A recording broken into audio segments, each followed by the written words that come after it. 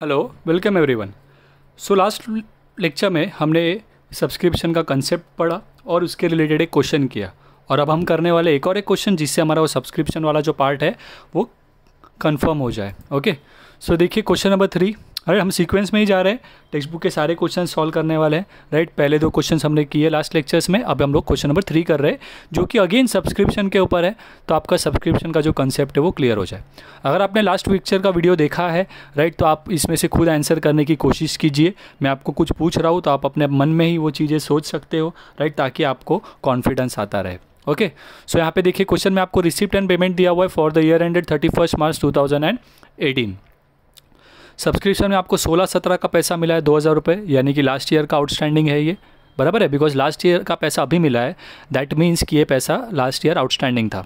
और last year के outstanding को आप क्या करते हो? माइनस बराबर है? ये आपका सेवनटीन एटीन का पैसा है करंट ईयर का। Eighteen nineteen that is next year का पैसा। तो ये आपका करंट ईयर के लिए प्री रिसीव्ड इनकम होगा। बराबर है? और टोटल अमाउंट मिला है आपको सिक्सटी सिक्स फाइव हंड्रेड फिर एडजस्टमेंट में आपको कहा subscription outstanding for the year seventeen eighteen right कितना है? छः हज़ार रुपये सेवनटीन एटीन मतलब हमारा करंट ईयर करंट ईयर का आउटस्टैंडिंग कितना है? छः हज़ार रुपये सो आपको पता है करंट ईयर का आउटस्टैंडिंग को आप क्या करोगे? प्लस करते हो। और करंट ईयर का है तो इसके लिए दो इफेक्ट्स पास करने होंगे। तो इसी तरीके से इसका भी आपको दो इफ़ेक्ट देना है बिकॉज़ ये करंट ईयर का प्री रिसीव्ड है और ये करंट ईयर का आउटस्टैंडिंग है। तो इन दोनों के दो दो इफेक्ट्स आएँगे। ओके फिर आपको बोला है during previous year subscription received in advance for seventeen eighteen मतलब ये सेवनटीन एटीन जो हमारा अभी का साल है, उसका एडवांस पिछले साल मिला था। That is pre received income ये लास्ट ईयर का है। ये क्या है आपका? लास्ट ईयर का प्री रिसीव्ड कितना है? टू थाउज़ेंड और नॉर्मली आप करंट ईयर का प्री रिसीव्ड क्या करते हो? माइनस और लास्ट ईयर का प्री रिसीव्ड आप क्या करने वाले हो? प्लस करने वाले हो राइट ठीक है। उसके बाद क्या कह रहे हैं? Outstanding subscription for sixteen seventeen last year का जो सिक्सटीन सेवनटीन का सब्सक्रिप्शन है, वो कितना है? टू थाउज़ेंड फाइव हंड्रेड अब इसके ऊपर मैं बात करूँगा थोड़ा सा लास्ट में राइट पहले हम लोग बाकी चीज़ें कर लेते हैं। अब यहाँ पे देखिए तो जिस तरीके से मैंने आपको बताया, सबसे पहले हम लोग इनकम एंड एक्सपेंडिचर बनाएँगे और बैलेंस शीट ये मेरे इनकम एंड एक्सपेंडिचर के सारे हेडिंग और फॉर्मेट और यहाँ पर बैलेंस शीट का। तो सबसे पहले जैसे कि मैंने आपको कहा, हम लोग क्या लेंगे? सब्सक्रिप्शन का अमाउंट कौन सा अमाउंट आएगा सोचिए दिमाग में? वो आपका होगा sixty six five hundred right जो आउटर कॉलम में फिगर है सब्सक्रिप्शन का, वो आपको हमेशा ले लेना है। इसके बाद सबसे पहले मैंने आपको कहाँ से शुरू करने कहा था? आपके रिसिप्ट एंड पेमेंट में से। आपको क्या करना है कि आपके टोटल अमाउंट में से जो अभी के साल नहीं है, उनको हटा देना है। ये पहले तो सिक्सटीन सेवनटीन ये अभी का नहीं है लास्ट ईयर का है। तो लास्ट ईयर का पैसा अभी मिला है। दैट इज़ ये लास्ट ईयर का आउटस्टैंडिंग है। और लास्ट ईयर का आउटस्टैंडिंग आप माइनस करेंगे तो outstanding subscription for sixteen seventeen कितना है? दो हज़ार रुपये मिले हमें राइट दो हज़ार रुपये। यहाँ पे लिखा है sir sixteen seventeen outstanding subscription वो अलग बात है।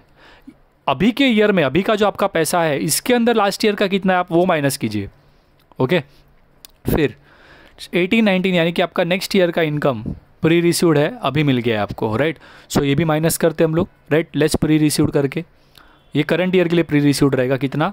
फोर थाउज़ेंड फाइव हंड्रेड और ये करंट ईयर का प्री रिसीव्ड है तो उसका आप सेकेंड इफ़ेक्ट लाइबिलिटी में शो करेंगे राइट प्री रिसीव्ड करके फोर थाउज़ेंड फाइव हंड्रेड अब इसके बाद हमारा नेक्स्ट काम है, ये हो गया। अब हम लोग आ जाते हैं एडजस्टमेंट पर। पहले तो हम लोग इनको ऐड माइनस करने बोला है तो लेस करके निकाल लेते टोटल क्या आएगा?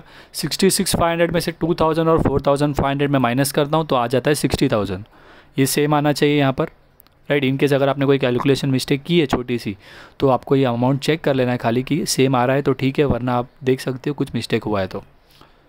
ओके अब इसके बाद आपको क्या करना है? नेक्स्ट एडजस्टमेंट बोला है। Subscription outstanding for seventeen eighteen यानी कि करंट ईयर के लिए आपका आउटस्टैंडिंग कितना है? Six thousand so current year का आउटस्टैंडिंग क्या करते हो आप? प्लस करते हो राइट सिक्स थाउज़ेंड ओके इसके बाद इसका सेकेंड इफ़ेक्ट आप शो करोगे यहाँ पर बैलेंस शीट में एसेट में क्योंकि ये पैसा आने वाला है राइट right, तो सेवनटीन एटीन का जो है आपका वो क्या है आपका? सिक्स थाउज़ेंड मैंने गैप क्यों रखा? बिकॉज़ और आपको बीच का सिक्सटीन सेवनटीन का अभी भी कुछ बचा है वो लेना है। बराबर? ठीक है। इसके बाद आपको सब्सक्रिप्शन प्रीवियस ईयर में मिल गया था। कौन से ईयर का?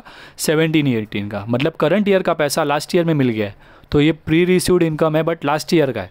सो so, नॉर्मली आप प्री रिसीव्ड माइनस करते हो बट ये क्योंकि लास्ट ईयर का है तो इसीलिए आप इसे क्या करोगे? प्लस करोगे। और ये लास्ट ईयर का है तो इसका दो इफ़ेक्ट नहीं आएगा। एक ही इफ़ेक्ट आएगा खाली यहाँ पर कितना अमाउंट का है? टू थाउज़ेंड तो वो हम लोग यहाँ पर ले लेते हैं।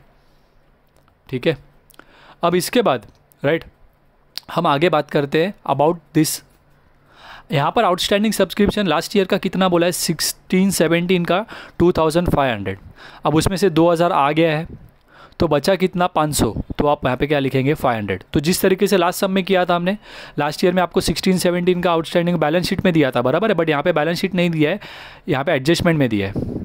तो नॉर्मली हम लोग यही करते हैं फटक से 2500 लास्ट ईयर का था बट 2000 आ गया है तो अभी 500 बचा तो 500 यहाँ पर लिख देते हैं। बट यहाँ पर वो गलत हो जाएगा।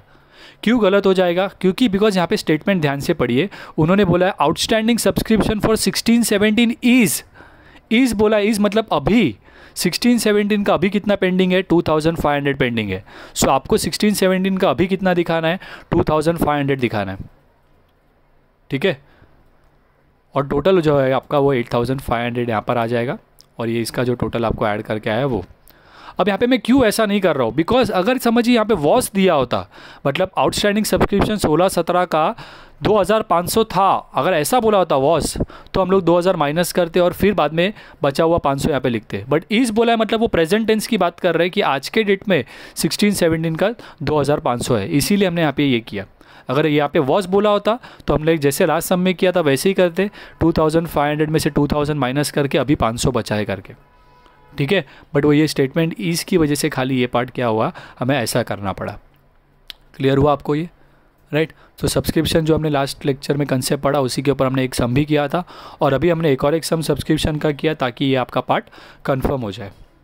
ओके सो so, सारे सम्स जो आगे आएँगे राइट right? इसके बाद और एक दो क्वेश्चन ऐसे हैं जहाँ पर आपको अगेन फुल फ्रेज क्वेश्चन नहीं है वहाँ पे आपको इनकम एंड एक्सपेंडिचर खाली बनाने बोला होगा। और उसके बाद से फुल फ्लेज क्वेश्चन हो जाएँगे। टोटल फोर्टीन क्वेश्चन है इस चैप्टर में, हम लोग फोर्टीन के फोर्टीन सारे कवर करेंगे। ओके सो अगर आपको ये वीडियो पसंद आई है तो आप इस वीडियो को लाइक करें। हमारे चैनल को अगर आपने सब्सक्राइब नहीं किया है तो चैनल को सब्सक्राइब करें ताकि अपडेट्स आपको मिलते रहे। Bye take care